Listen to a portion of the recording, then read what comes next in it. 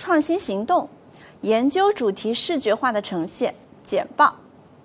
在这里，我们的创新目标是利用简报的形式，通过直观的视觉艺术展现自己的想法，使得大家更加清晰地理解我们准备讨论的主题以及行动计划。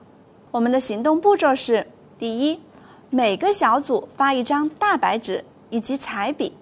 根据小组讨论的主题、行动目标作为我们的简报。第二，给每个小组五分钟的时间来解释简报，并且向大家阐述自己的目标主题以及行动计划。